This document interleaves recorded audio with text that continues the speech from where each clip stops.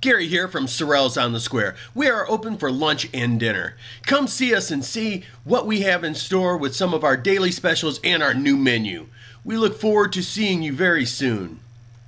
We are located right across from the courthouse at 119 North 3rd Street. Sorrell's on the Square, the home of rocking good food. Baby! Yeah.